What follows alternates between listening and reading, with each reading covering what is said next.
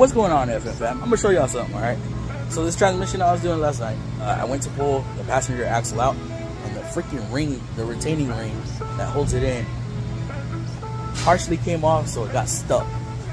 So, well, the ring got all boogered up. This is not a perfect circle no more. So I might have to replace this ring.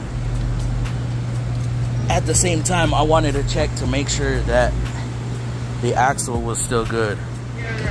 So making sure that the axle's still good, you can see right there the uh, splines got dented in. I don't want to ruin this axle by trying to fix those splines. So what I'm gonna do, I'm gonna make sure it splines back into the transmission. Now, as y'all can see right here, I am fitting it in and well, it went in without any issue.